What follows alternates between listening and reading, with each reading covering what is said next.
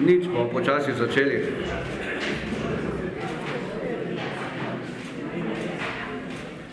Ja, lep pozdrav vsem skupaj, tisti, ko me ne poznate, moj ime je Roman Leljak. Z mano so še danes eh, gospod Božo Vukišič iz Hrvaške. On je ravno kar te dni končal, ali pa je v končanju svojega projekta Perkovič in pa kolega Igor Omeza, ki pripravlja sedaj eno posebno knjigo o eh, Crnogorac Stjepanu. No, danes smo se v bistvu zbrali tukaj, da vam, kot je bilo že v vabilu napisano, pokažem nekaj novo odkritih dokumentov, ki govorijo o tem, kako in na kakšen način je, je bila upletena slovenska, jaz bom govoril UDBA, pravilno bi bilo služba državne varnosti, UDBA, v povojne poboje v tujini in tudi doma, predvsem v obdobju po 70, 70 letih. O sami udbi kot takšni, mislim, da je že veliko rečenega. Za začetek sem si tole zamislil, da bi vam najprej predstavil nekaj novih sredstev za delo, ki so jih uporabljali, ki pa jih do sedaj nekako nismo vedeli, da sploh obstajajo oziroma vedeli so, da obstajajo oziroma nismo bili prepričani, da jih je uporabljala tudi slovenska udba. Tako imenovane tehnične metode dela udbe najprej tudi predstavljam eh, eh, pre, za specialne mine, plastične tajnike in avtomatske pištole ČSSR M61 Škorpion, ki so jih nabavili leta 1972. Mine imajo posebne urne sproživce UP100, posebne magnetne mine in 70 kosov plastičnih tajnikov v dveh velikostih. To so potem razdelili po upravah udbe, tako vidimo, da jih je v Kranju eh, bilo deset, Maribor deset in tako dalje. Vse zadevo so skladiščili v glavnem v Ljubljani na vodovodni cesti. Kje v vodovodni cesti je tja objekt danes in kaj se tam danes nahaja, ne vem, ker osebno tega nisem preverjal. Uh, UP100, urni sprožilec na 100 ur, za, za 100 ur, razvijali in imeli so jih kar nekaj. Prvi je bil HP1, to je bil prototip hitrostnega sprožilca, to pomeni, bil je namenjen predvsem za avtomobile. Mina se je, oziroma sprožilec je aktiviral mino na določeni hitrosti, 60, 70, 100 na uro, odvisno kako so ga nastavili. Imel je naboj 600 gramov TNT-ja, potem je bil KP1, izdela prototipno kilometrskega proživca, ta je podoben s tem, da se je namestil na brzino vožnje, naprimer na 60-70 km vožnje. In ko bi vozilo bi imelo točno, eh, točno brzino, bi prišlo do eksplozije. In pa seveda tretji je ta temperaturni prožilec, ta pa se v glavnem uporabljal za prostore, ko je prostor dosegel določeno temperaturo, je prišlo do sprožitve. Seveda ta pirotehnična sredstva ko so jih takrat imenovali, niso pirotehnična, ampak so čisto teroristična sredstva, ki so jih uporabljali za svoje delo doma in v tujini. Najbolj grotesno pri vsem tem pa je naprimer sredstvo F1, to je prototipna sredstva za tiho likvidacijo. Model za neposredno delovanje, ki se aktivira pri neposredno udarcu v telo osebe in pa model F2, model za posredno delovanje balistične igla, ki se lansira na krajšo razdaljo. Sredstva so bili polnjena s takrat trenutno delujočimi strupi. In pa seveda izdelava glušilcev, kot so to takrat imenovali, zvoka za različne orožja, ki so jih imeli takrat v uporabi.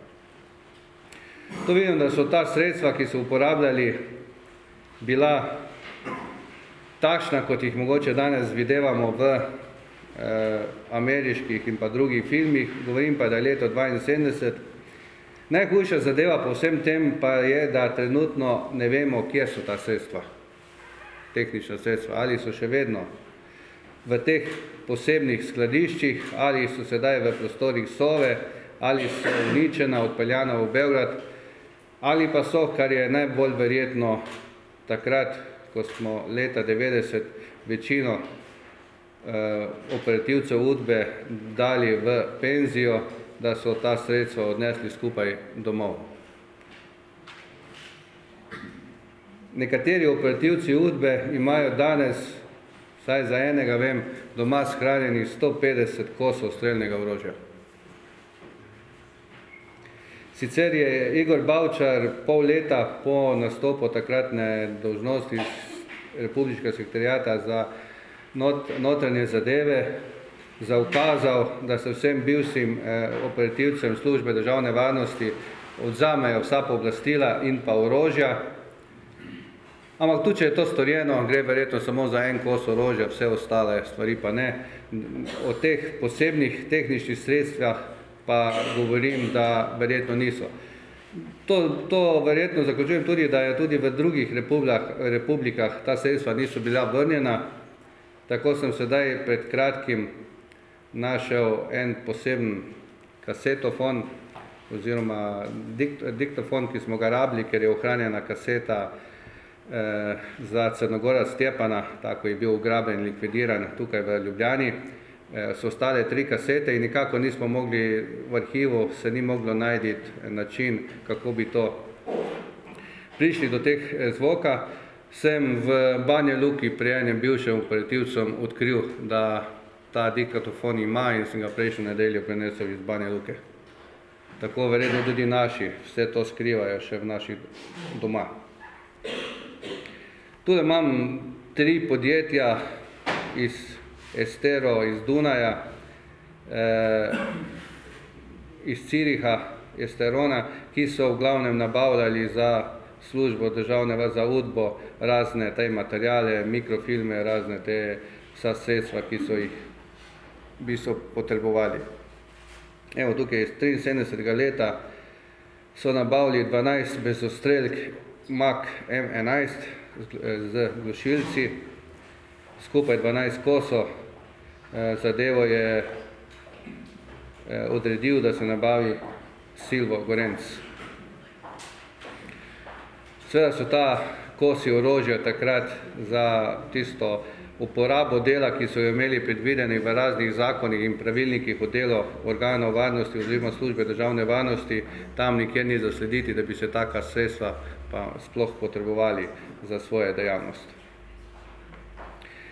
E, Tretja zadeva, ki mogoče eh, hoče omeniti, to so pa tako imenovani bunkeri oziroma tajna stanovanja, ki so jih imeli vse posod po Sloveniji. Tudi skica 73. leta so izdelali bunker v Jesenicah, Jesenica 1 in Jesenica 2, se pravi Jesenice so imeli 2, v Ljubljani 4. Prejšnji eh, dokument je govoril o bunkeru v Idri, Krnice 450, Zanimivo je, da so ti bunkeri v glavnem uporabljali za skladiščenje teh svojih posebnih sredstev, eh, za eh, sobe, za zaslišanja, za počitek in podobno. Usoda vseh teh posebnih stanovanj bunkerjev se danes ne ve, kje so in komu služijo namen in vprašanje je, če so leta 90 sploh predana nazaj v uporabo oziroma so ostala v lasti teh, eh, teh operativcev službe državne varnosti. No, toliko mogoče o teh začetek, o teh posebnih sredstvah, sredstvih, za katere obstaja dokumentacija v arhivi Slovenije in ki je dostopno za enkrat, se še lahko pogledamo. E, kot sem pa rekel, usoda teh sredstev se pa ne pozna. Sedaj pa vprašanje, Janeza Zemljariča. Eh, leto 75, že dve leti je bil takrat slovenski načelnik udbe, V Celovcu je živel že od 45. leta Nikica Martinovič, ki se je kot poročnik Hrvaške vojske takrat umikal iz Hrvaške in takratne Jugoslavije in je takrat že skoraj že 30 let vsako leto organiziral spominsko slovesnost v Pliberku na pokopališču, kjer so bili pokopani eh, vojni ujetniki. Za leto 1975 se je posebej pripravljal, ker namreč takrat bi bila 30. obletnica Plibeške tragedije, zato je pripravljal komemoracijo, ki bi se jo naj odležili Hrvati iz celega sveta. To je bilo preprečeno 17.2.75, Nikica Martinovič se je 17. februarja 75, 75 kot, kot običajno nekaj pred 18. uro pripeljal z avtomobilom za službo ter parkiral pred svojo trgovino s cvetjem in zelenjavo v Bauman placu v Celovcu. Malo po njegovom vstopu v trgovino so odjeknili streli, pod katerimi je padel. Antetator je pobegnil, žrtev pa izdihnili na poti v bolnišnico. Tako kot v primeru Đerekoviča, tudi njega so čakali v sami trgovini, se pravi, da so imeli že prej vse pripravljeno, odprto. To je eh, Nikica Martinovič po likvidaciji. V arhivu Slovenije se ohranja arhivsko gradivo obdelava plibeški vod. Eh, Plibeški vod je nadzor, vsakoletni nadzor delovanja eh, in aktivnosti eh, vseh, ki so se skrbeli za eh, plibeške dogodke, za tiste vsakoletne, vsakoletne prireditve in podobno. Vse to se je vsako leto nadzorovalo, zvočno snemalo, video snemalo in podobno. Od decembra 1974 vsak dan vidimo, da so sodelavci Žan, Vilič, Igor L, Jagoda in Borje dnevno poročali gibanje Nikice Martinoviča, se pravi, da bi pripravili, kot bi reklo, nekašno eh, eh, podatke v gibanju in navadah Nikice Martinoviča, da bi se lahko izvršil atentat na njega. Najbolj je to jasno iz načrta dela operativne akcije Plibeški vod, ki je bil sprejet za leto 75, takrat, ko je to vodil eh, sam Janez Zemljarič. Pod naloge, ki so jih imeli za takrat, so zapisali priprava ukrepov za paralizacijo njihove sovražne aktivnosti in za ustvarjanje medsebojnega nezaupanja. Rok maj 1975. Kaj v bistvu pomeni, da so želeli za eno akcijo paralizirati aktivnost eh, hrvaške migracije v celovcu. Ta paralizacija je bila seveda v boj samega Nikica Martinoviča in pa ustvarjanje medsebojnega nezaupanja. Namreč po samem umoru je Udba začela pisati pisma, anonimna, da so eh, Nikico Martinoviča ubi, ubili razni eh, hrvaški imigranti iz Avstralije in podobno, vse, v, vse zato, da bi se med sebojno skregali in da bi bilo vladalo med, med njimi nezaupanje. Vsa ta pesma so ohranjene in, in odobril jih je Janez Zemljarič. No, tukaj pa imamo tudi tisti dokument, glavni, eh, kjer se vidi, da je eh, se Janez Zemljevič strinjal s predlogom, da se za sodelavca Hanzija eh, in pa eh, eh sodelavca šoferja je vključi in da oba naredita neke posebne akcije, eh, na kar bi si jih bogato nagradilo in pa potegnilo v, nazaj v Jugoslavijo. Tako je bilo rečeno, da bi za Hanzija Dorič, v resnici to je Dorič Milan, ki še dan danes živi v Nemčiji, eh, bilo namenjeno, da po izvršeni akciji damo se v okolici Pohorja, pod Pohorjem pri Mariboru, najde primeren gostinski lokal, damo se ga kupi in da bi takrat lahko namirno naprej delal. Eh, zadeva se je potem razvila malo drugače, po umoru je dobil lokal v Nemčiji, Udba mu ga je financirala in je naprej deloval kot sodelavec Udbe. Trenutno še ne vem, kako je potekalo z sodelavcem šoferjem, namreč po tem predlagani akciji bi moral likvidirati Rudolfa Arapoviča, kot pa vemo, on ni bil likvidiran in je umrl pred parimi leti v Zagrebu.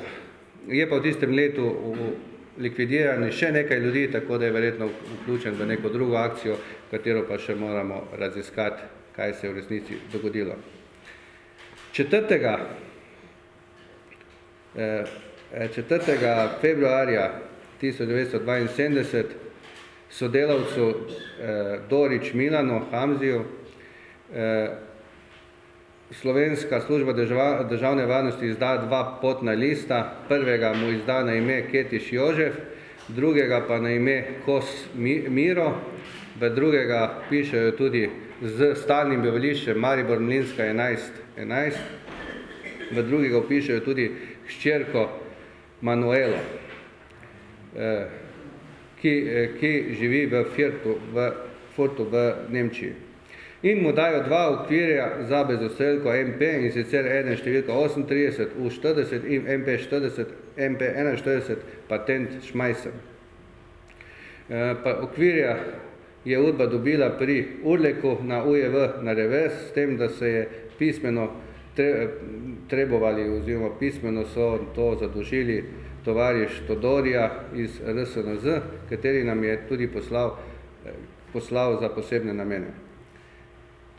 To se je dogajalo četrtega sedmega, to je predano vse skupaj Doriču, kot sem rekel, trinajst dni kasneje pa je sodelavec Hanzi, ki ga vidite tukaj,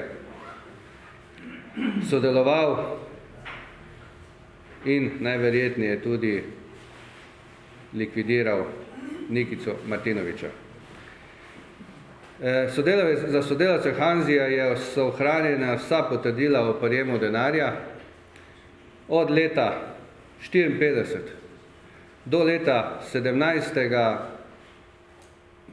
aprila tisoč devetsto devetdeset je vse skupaj od Udbe sprejel en milijon nula osemdeset tisoč evrov, sedemnajstega marca, sedemnajstega aprila tisoč devetdesetega leta je dobil zadnjih trideset tisoč evrov, trideset tisoč mark, govorim sedemnajsti april tisoč devetsto devetdeset. Se pravi, takrat, ko smo že v Sloveniji oziroma Jugoslaviji imeli skoraj totalni razpad Udbe, ko so se ustanavljale že nove države, je slovenska Udba še vedno dala trideset tisoč evrov, mark Dorič Milanu. Tole so ena od teh potrdil, na primer za leto petinsedemdeset potrjujem sprejem tri tisoč tristo šilingov, trideseti julij potrjujem sprejem tri tisoč šilingov tretjega osmega, se pravi štiri dni. Štiri tisoč šilingov leta petinsedemdeset bi Bišo Jankovič vesel te plače danes. V tem, ko se je v tem času, kar ste sledili v časopisih, najprej, ko sem objavil to zgodbo okoli Stjepana Crnogorca in je bilo vse skupaj objavljeno v Avstrijskem kurirju, me en dan presenetilo pismo doma, sprejel sem pismo iz Nemčije, pisal mi je Dorič Milan. To pismo je tukaj. V tem pismu je začel pisati, da ga malo preseneča, da je prišlo do, da bi to uredila slovenska Udba, ampak če dokumenti kažejo, da je to bilo tako, potem je bilo tako, ampak da je on bil prepričan, da je to naredila bosanska služba državne varnosti, ne pa slovenska, to biti ne spreminja veliko.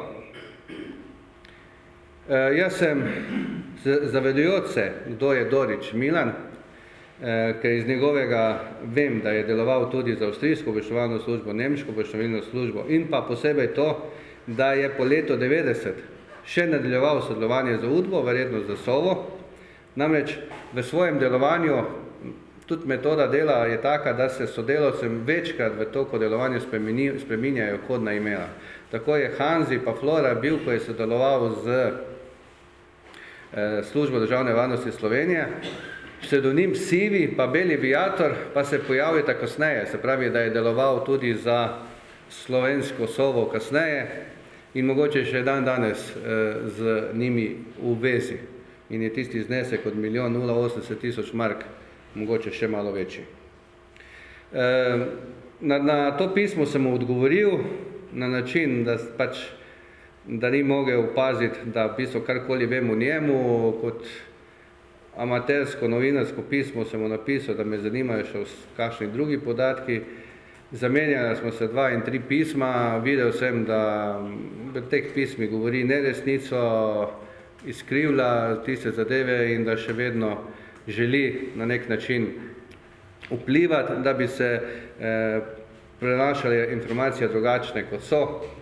Zato sem tudi prejšnji teden v bistvu sklenil, da se nekako to dopisovanje konča z njim, predvsem zato, ker nisem sigurna, ali je še naprej v vezi tudi z nemško, nemško službo oziroma še slovensko Sovo in da ne bi imel osebno nekih problemov, sem s tem končal, nekih pridnih, dobrih podatkov za nadaljnje raziskovanje pa itak ni dal. Ti dokumenti, njegovo pisanje je pa v bistvu tukaj.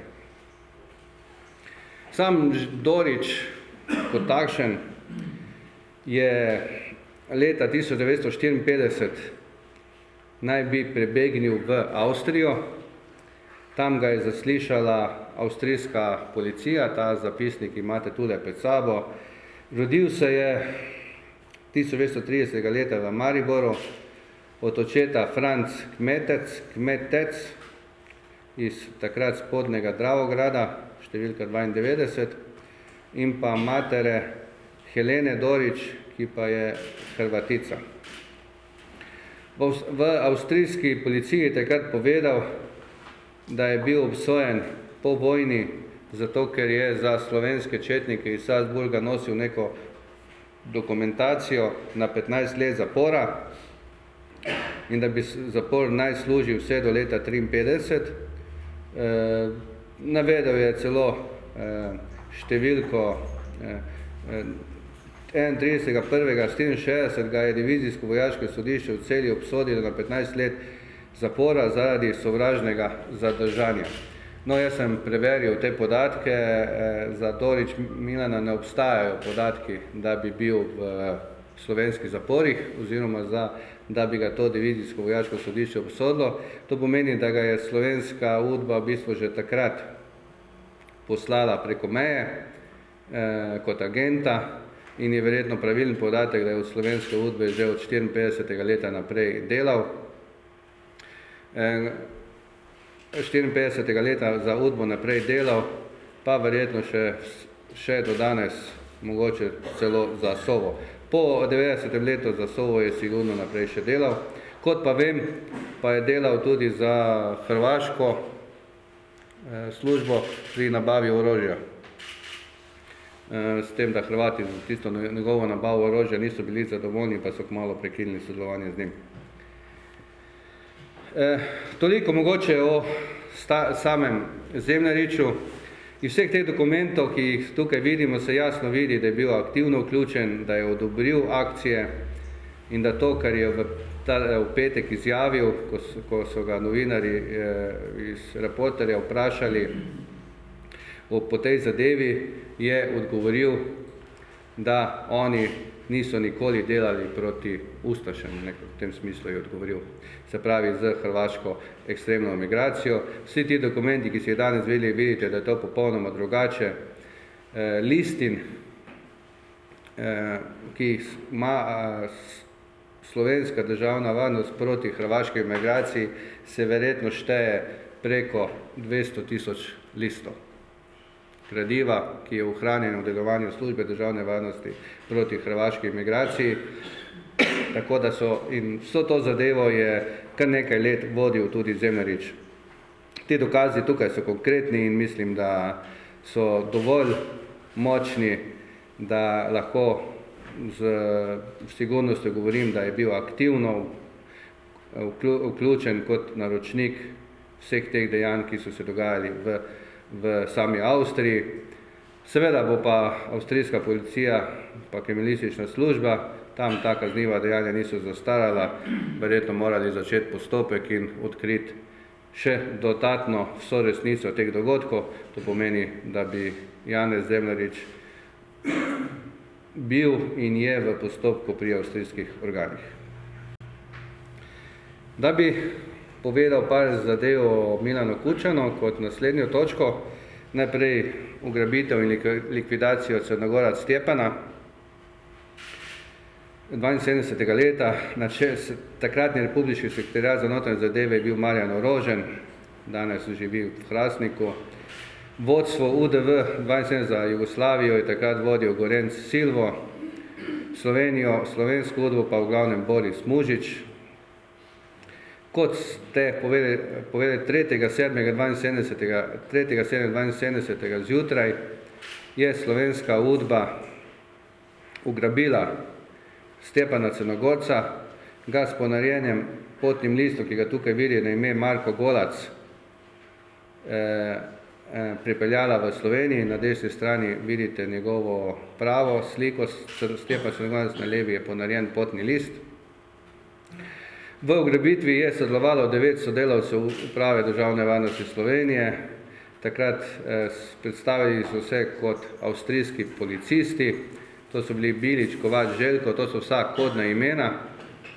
Trenutno smo z eh, kolegom Igorem zelo blizu, da bomo lahko v knjigah, ki bo zdaj šli, eh, govorili tudi o polnih imenih. Trije sodelavci spremljevalci in pa še trije sodelavci observerji, opazovalci, ki so odaleč eh, nadzorovali in za, bili za eventualno pomoč, so to jutro z ukano, da so avstrijski policisti pripeljali v avto in ga odpeljali v Slovenijo, pred mejo mu dali nekaj za spit, tako da se je zbudil v Sloveniji. V Sloveniji so ga vsaj 15 dni zasliševali, namreč iz njegovih izjav okoli 200 na 200 straneh pismenih izjav se da videti, da so ta izjave nastajale približno 15 dni, se pravi, da je bil 15 dni zasliševan. Eh, ohranjen je tonski zapis njegovega zaslišanja, star audio-video eh, posnetek, za katerega smo zdaj nabavili možnost, da ga bomo tudi lahko reproducirali in ga bomo takoj, ko bo, vam bomo ga v elektronski obliki novinarjem tudi poslali. In pa vsa osebna pošta Stepana Crnogorca, Seveda, eh, kot sem že zadnjič opazil, eh, predstavil, ohranjeno so tudi gradivo, kako so si razdelili gnar, denar, nagrado za to ugrabitev in podobno. Seveda, kot je značilno za Slovenijo takrat in verjetno tudi za danes, so po koncu leto sledila razna zaslužna nagrade, tako je podan predlog za odlikovanja in prvi, ki bi bil za leto 72 nagrajen z redom bratstva in enotnosti z zlatim vencem, je prav Mužič Boris, ta ugrabitelj. No, in kje je tukaj zdaj Milan Kučan, takrat 30-letni, malo 31 let star, član sekretarijata Centralnega komiteta Zveze komunistov Slovenije, namreč 13.7. Andrej, Andrej Marinc takrat skliče 125. interno sejo sekretarijata CK ZKS Zveze komunistov Slovenije, na kateri so bili prisotni Andrej Marinc, Lojze Briški, Milan Kučan, Vlado Janžič, France, Fran Šetinc, Danica Jurkovič, Gojko Stanič, France Popit, Sergej Krajger, Tone Kropušek, Marjan Orožen in pa seveda In na sejo so vabljeni še pripadniki eh, službe državne varnosti, med njimi tudi Marjan Orožen, Egon Kondrani, Boris Mužič, Stane Markič, Martin Košir. Eh, sejo je vodil sekretar sekretarijata takrat Andrej Marinc. Dnevni red je bil razprava o aktualnih vprašanjih sovražne aktivnosti ter naše, ter naše organiziranost in delovanje v zvezi s tem in druga točka je bila razna. Takrat na tej seji so poročali o dejavnosti, dejavnosti eh, hrvaške emigracije, To je bil dan, ko je bil še Stepan Crnogora živ v Ljubljani, se pravi, govorimo deset dni, deset dni po njegovi ugrabitvi. Po tej seji, štiri dni po tej seji, približno točnega dneva ne moramo ugotoviti zaenkrat, je pa Stepan Crnogorac likvidiran. Verjetno na način, ki je danes še zaenkrat neznan, mogoče tudi za uporabo sredstev za tiho likvidacijo. Na tej seji so tudi sklenili med, med sabo, da bojo takrat naprej tudi v službi državne varnosti, da bo imeli še bolj vse pod nadzorom, komunistične partije organizirali, da bojo tudi v, v službi državne varnosti morajo delovati osnovne organizacije Zveze komunistov. Podprli so, da se jim dodajo dodatna sredstva za delovanje in podobno. Torej, Milan Kučan je takrat na tej seji bil, na tej seji je Boris Mužič poročal o aktivnosti, ki so se dogajali, najverjetneje tudi v tem, kaj je storil sam deset dni prej za ugrabitvijo Stepana Crnogorca, za katerega so pač imeli oceno, ki se je izkazala potem za napačno, da naj bi on vodil drugo skupino, ki bi naj prišla takrat v Slovenijo. Veste, da se je takrat konec junija v Slovenijo prišlo devetnajst pripadnikov hrvaške, hrvatske, hrvaške revolucionarnega bratstva preko Mute, tako imenovani akcija Felix Radoša in podobno. In ta druga skupina bi naj se pripravil, bi naj vodil prav Stjepan Crnogorac. Po njegovi ugrabitvi in zaslišanju so videli, da to, da so udarili mimo, ker človeka več niso mogli vrniti nazaj v Avstrijo, ker mu niso mogli soditi, soditi, so ga pač likvidirali. In še zadnja točka, predam besedo, omenil sem, da bom spregovoril par besed o Zakonu o arhivskem gradivu. Ne vem, če prepoznate tega gospoda za mano.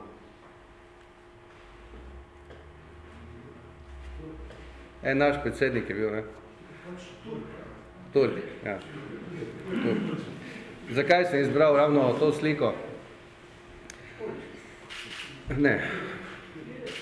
Turk, Turk. Tjork, Tjork, ja. Tjork.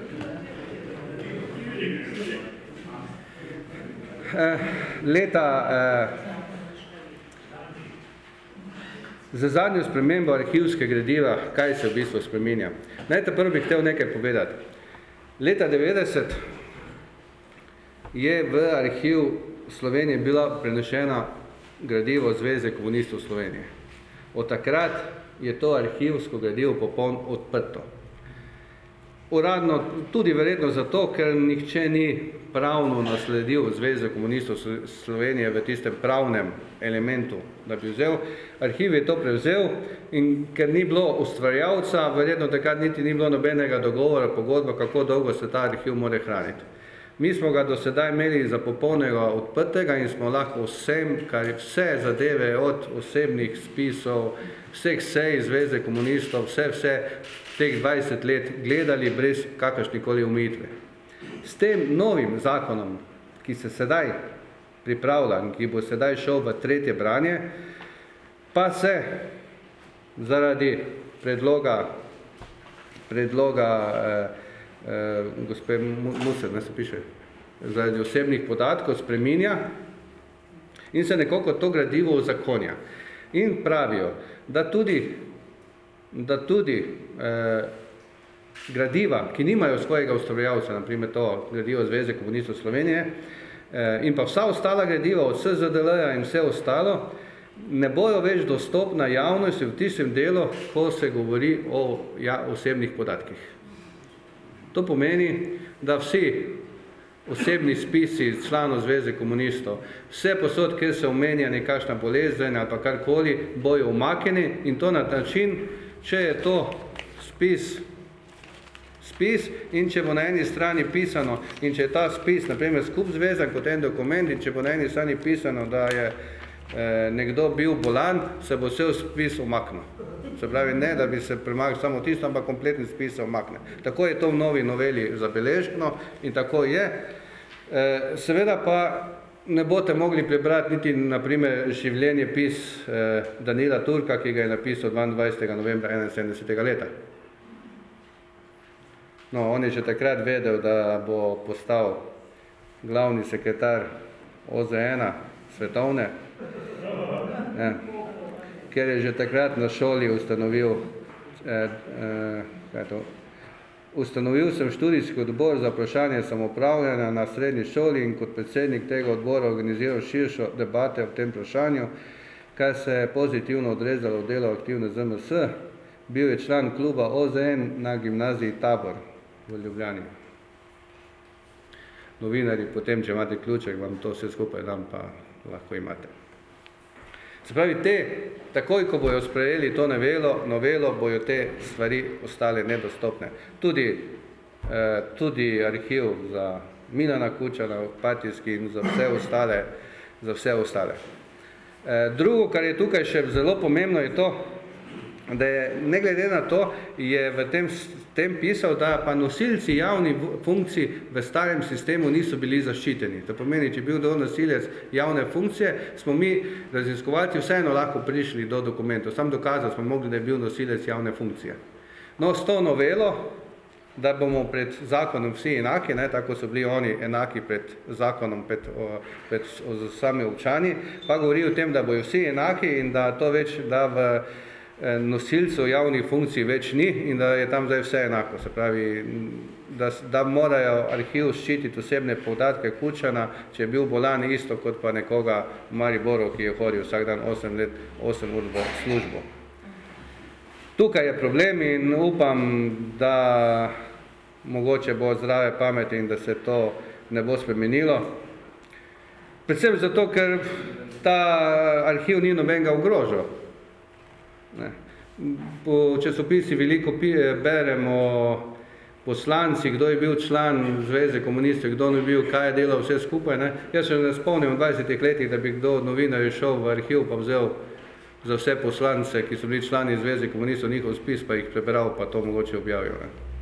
Tudi za Turka smo imeli on kampanje, kampanje vse skupaj, pa tega gradiva nihče ni gledal. Zakaj ne, ne vem je pa arhivsko gradivo ravno zato, da ga gledamo in da se z tega kaj naučimo in ga lahko, da ga lahko uporabimo za boljšo prihodnost. No, eh, z moje strani je tole vse. Eh, ko sem že prej povedal, Bože je tukaj z mano, eh, na vprašanje bo, bo govoril tudi o zadevi, ki se trenutno dogaja na Hrvaškem. Sam pripravljam, kot sem prej ste bili knjigo o delovanju udbe v tujini, v tujini, ker bom obdelal te in pa podobne primere. E, po primere, namreč slovenska udba je tudi postavljala bombe v razne gostinske lokale, tudi na pokopališča in vse posod. Zgodba sploh ni lepa. No, Igor Omeza pa bo ustvaril eno posebno življenjsko knjigo o Stepanu Crnogorca in obe knjige bi naj išle začetku marca, oziroma mogoče že prej, konec februarja. E, Igor, če boš ti spregovoril, kakšno besedo? Ja, hvala za besedo.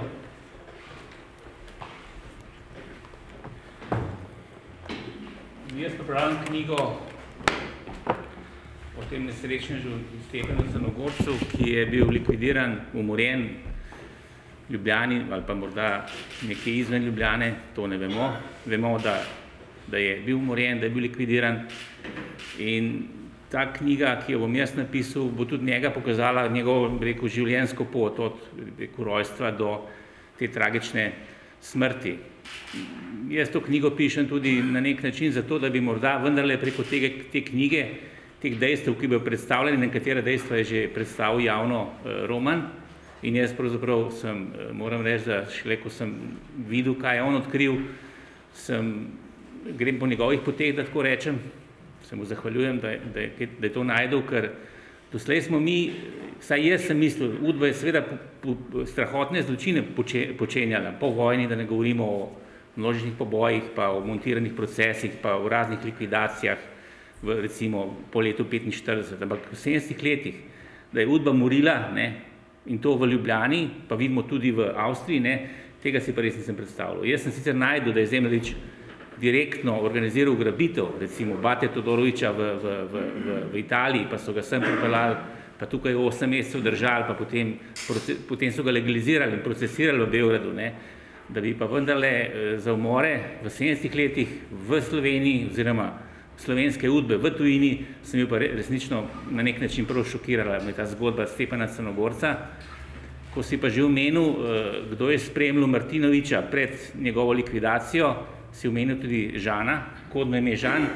To je pa, eh, tukaj ga imam jaz v svoji knjigi, eh, od Belce do Velikovca, ko sem zlobil bombo, sicer v nemški izdaji, v slovenski izdaji še nisem tega odkril, v nemški izdaji sem objavil sliko Milana Boriča, ki je bil en, očitno izmed enih tistih sokrivcev ali pa sledilcev eh, Martinoviča in, in verjetno zato, če bi kdo to raziskoval, morda tudi sokrivec potem za njegovo likvidacijo. Ker Udba je pri takih stvarih uporabljala ne samo likvidatorje, ampak tudi ljudje, ki so bili, so jim rekli, observeri, se pravi opozovali so, ljudje, ki so ščitili akcijo, to je bila cela ekipa. Recimo v primeru Stepana Crnogorca, kot je že povedal eh, Roman, jih je bilo devet sodelavcev Udbe, ki so rekel, sodelovali ali direktno ali indirektno pri tej ugrabitvi.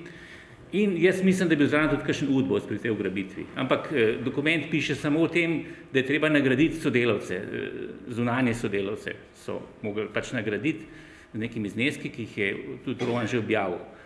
Eh, no, ta Borič, ko sem pa prej, ko vidite njegovo sliko, to je iz njegovega pasuša, ki se tudi, ki sem ga našel v arhivu Slovenije, pa ne bi vedel, da je njegova slika, če ne bi najdel dveh pasošev, Eno, enega na njegovo pravo ime in enega na lažno ime.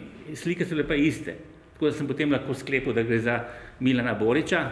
In Milan Borič je, eh, potem seveda sem ga tukaj javno razkril, je pa on izjemno veliko poročal eh, iz, iz, eh, iz, nemške, iz nemškega področja in pozneje iz avstrijskega področja.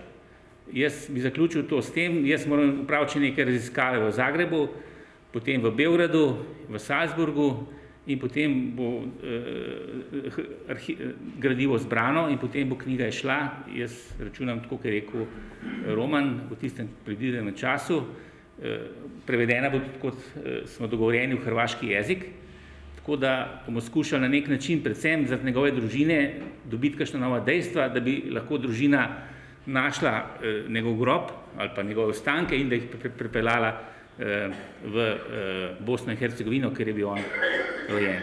Hvala lepa. Ja, eh, zanimivo slučajno, tako je Žan je bil Milan Borič, eh, ta naš sodelavec Hanzi je pa bil Milan Dorič, nista ista, je pa zelo podobno. Ja, mogoče še par besed o Perkoviču, kje je danes. Prvo, do prije nekoliko mjeseci dok, nisu, dok nije Roman otkrio ove dokumente o otmici Stjepana Crnogorca, vladalo je uvjerenje da je svaka republička udba ubijala svoje emigrante, Srbi, Srbe, Hrvati, Hrvate i tako dalje. Pošto nije poznato da je e, bio ubijen jedan slovenski emigrant, pretpostavilo se da slovenska udba nije imala svoju ekipu za likvidacije, međutim, evo, otkrilo se da je imala i da je ta e, pružala logistiku saveznoj udbi u likvidaciji drugih emigranata. Evo, za sada znamo e, da je sudjelovala u otmici likvidaciji Crnogorca i u likvidaciji e, Nikice Martinovića. Ono što je tek toliko možda da vam kažem interesantno za mene osobno je činjenica da je E, Nikita Martinović bio tajnik počasnog Blebuškog voda u vrijeme kad je ubijen, a tu funkciju trenutno ja obnašam u počasnom Blebuškom vodu. Ja sam napisao nekoliko knjiga o, o, o djelovanju UDBE, o likvidacijama hrvatskih migranata. E, moja posljedna knjiga se bavi likvidacijom Stjepana Đurekovića, to je trenutno e, najaktuelnija tema u Hrvatskoj, a zadnjih dana čak i u Njemačkoj. Zato što je Njemačka raspisala dva EU uhidbena naloga za Josipom, jedan za Josipom Perkovićom, posljednjim šefom udbe, Republičke udbe u Zagrebu i za Zdravkom Mustačom, posljednjim šefom Savezne udbe u Beogradu. Oba dva su bili pritvoreni, Mustać je još uvijek u pritvoru, sutra će valjda odlučivati se o njegovoj žalbi na pritvor, a Perković je u međuvremenu pušten da se brani sa slobode. U srijedu bi županijski sudovi u Zagrebu i u Velikoj Gorici trebali donijeti odluku o zahtjevu za, njihovim izručenjem. Bez obzira kakav taj, taj rješenje bilo, netko će se na njega žaliti, tako da će se čekati e, konačna odluka Vrhovnog suda koja, e, koja treba biti donesena sedam dana nakon prvostupanjske odluke. Nadamo se da će jedan i drugi biti izručeni Njemačkoj i da će onda uslijediti uslijed mnoga nova nepoznata otkrića o djelatnosti UDBE, posebice ovoj njenoj najgoroj terorističkoj strani aktivnosti. Hvala lijepo. Ja, zdaj, če še kakva novinarska vprašanja.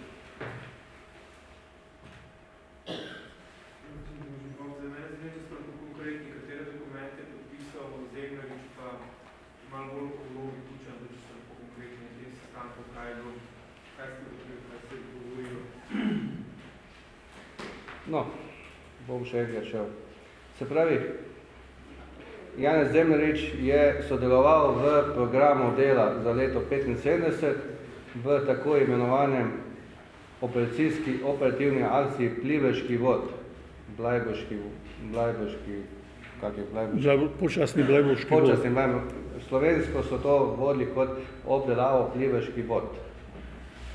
No, v tej nalogi so kot eno glavnih nalogov, kot prvo glavno nalogo napisali, je Zemljaričeva, se pravi on kot podpisnik te nalog, priprava ukrepov za paralizacijo njihove sovražne aktivnosti in za izvajanje medsebojnega nezaupanja. Rok maj 1975. Iz dokumenta drugega oddelka službe državne varnosti Republike sekretarja za notranje zadeve ki je bil 4. Eh, februarja 75. leta dostavljen Janezu Zemljariču kot namestniku Republičkega sekretarijata, je Milan Pavlin, načelnik eh, vodja oddelka za imigracijo pri eh, Republiški udbi, napisal predlog, da se sodelavca Hamzija in pa eh, sodelavca šoferja, Hamzi je bil Milan Dorič, Eh, da, da si jim dajo konkretne naloge in se jih potem nagradi za to, da, da bi potem se jih potegne nazaj v Jugoslavijo. Eh, v Jugoslavijo. Zato bi bili nagrajeni eh, Hamzi, z, da mu bi Udba kupila lokal v okolici Pohorja, na obročju Pohorja. za njega, za Hamzija, ni točno predvideno, koga bi naj likvidiral. E, no, iz samih dokumentov pa izhaja, da mu je še isti dan, četrtega druge, da izdana dva nova potna lista z drugačnim imenom, dana mu je municija in 13 dni kasneje je bil ubit Martinovič Nikica.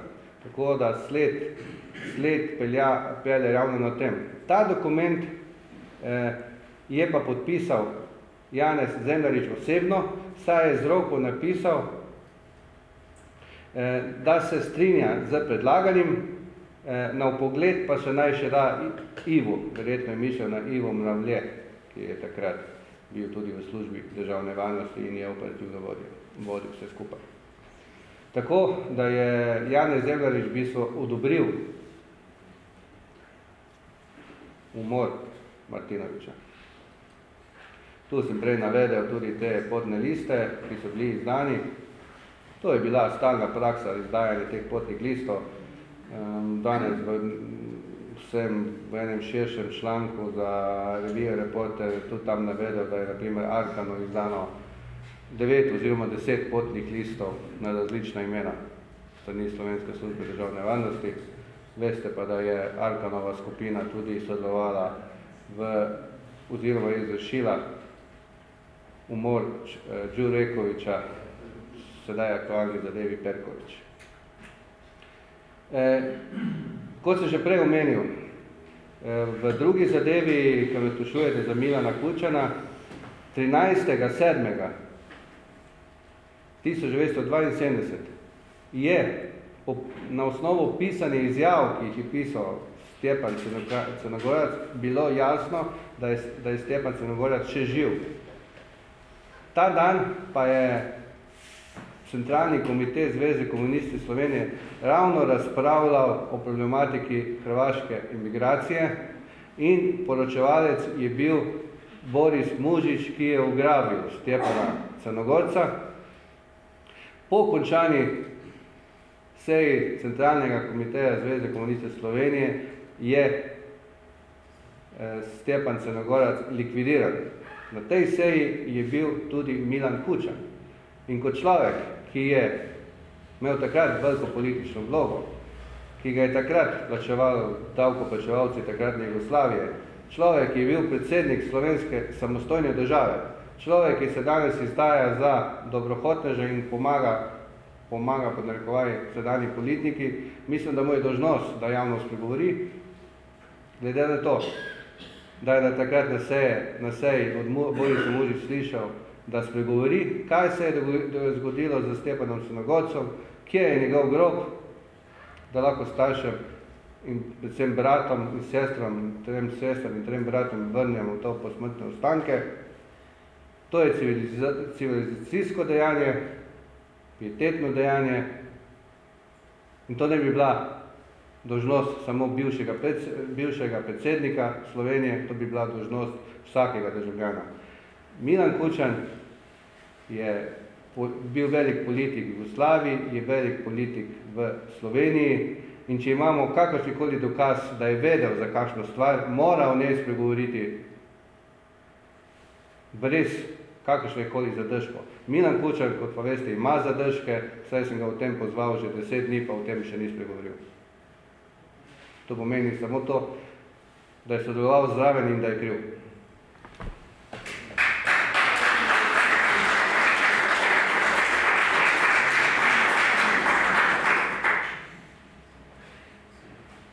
Še kaj?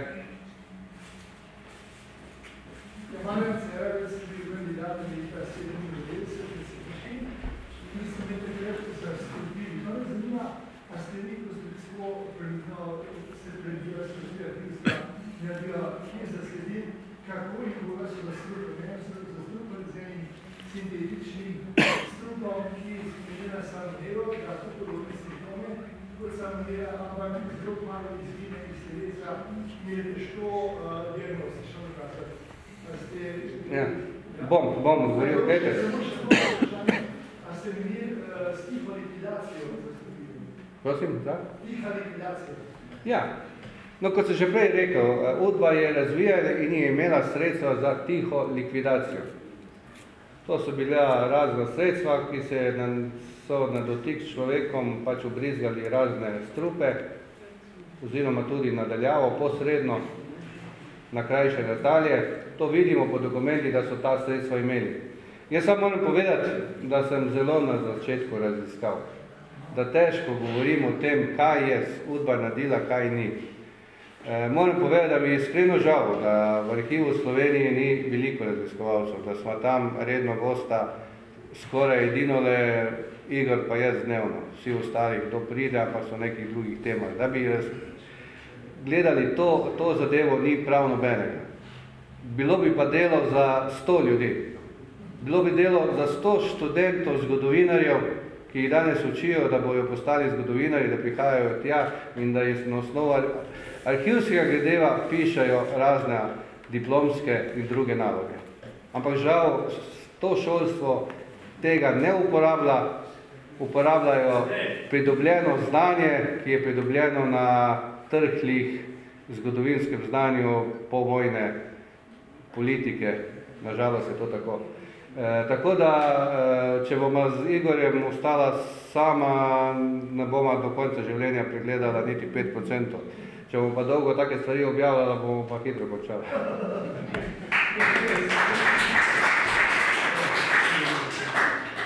Ja, gospod Ljudvik, kratko samo, ja. Dobar dan, Čanji.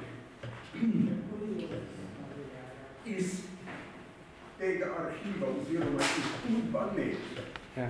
poznam imena vseh predsednikov slovenskih strank. Ja. Leta 90 so bili vsi udbovci. To sem nekajkrat napisal v časopise in nihče ni na to nič odgovarjal. Pa sem preverjal nek, za nekoga, ki je bil celo minister, pa sem ga vprašal, kot ne bom povedal imena, kot je nikomu nisem. Gospod, a ste bili predstavnik udbe za to in to državo? Pa mi je rekel, da je res. Drugo, Podarjeni so nekateri podatki. Janez Janša. Mi imamo udbovce na eni in na drugi strani. Janšev krog je veliko udbovcev, tako kot jih je okrog Zemljariča in Kuča. Po Kučanu so to samo udbovci, pri Janšu je mogoče vsak drug ali pa tretji udbovci.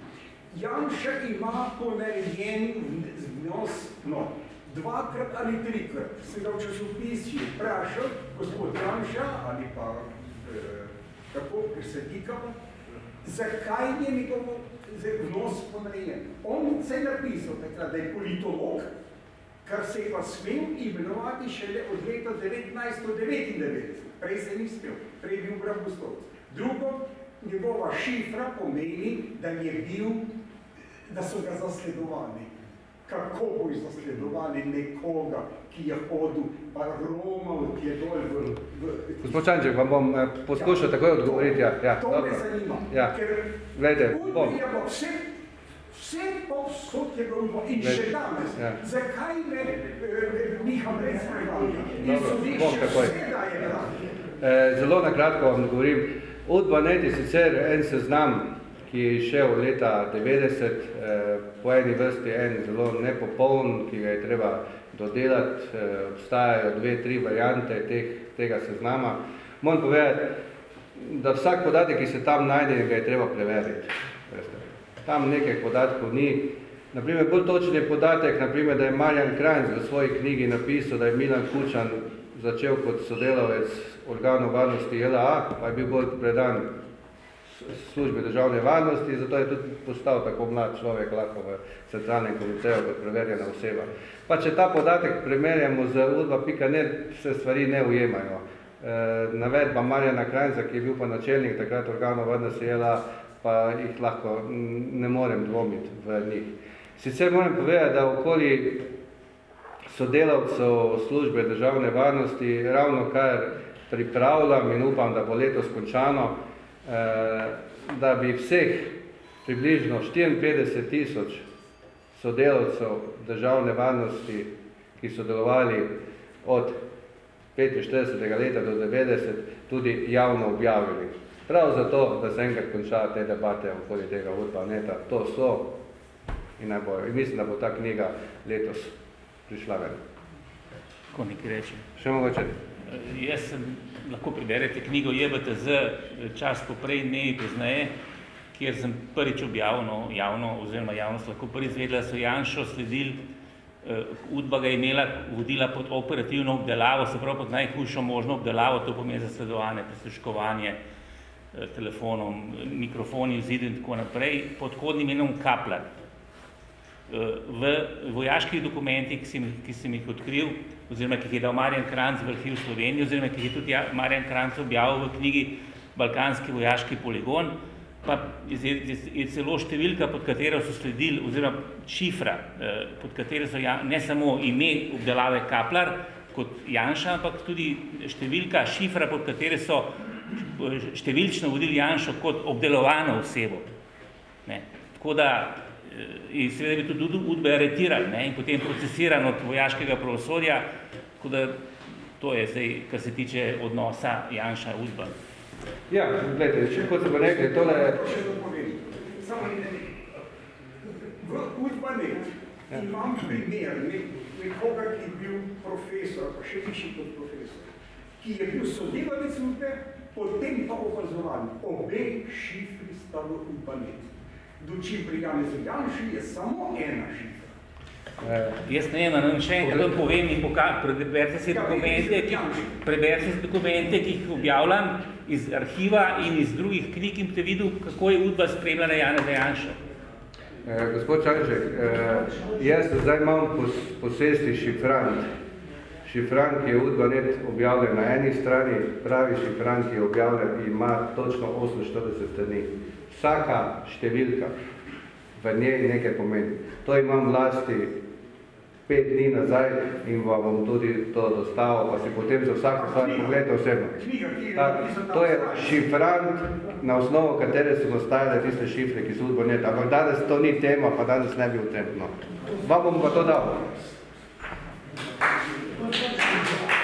Jaz bi pa vam odgovoril, da ste tipičen primer slovenskega političnega uh, mentalno zakonega človeka. Ker pred leti ste tako navdušeno ploskali Janši, zdaj da pa odcajtni, No. no. tako da je možno pljuvate. Gospod, jaz bi lepo prosil, danes imamo tiskovno konferenco, smo imeli za tole, eh, novinarjem bi se zahvalil za to, ker ste prišli. Povprečen človek Popolno vas razumem vse, bomo nadaljevali, ampak eh, tisto hoče, lahko ostanemo, ampak tiskovna konferenca, če ni vprašanj strani novinarjev, bomo končali. Hvala lepa.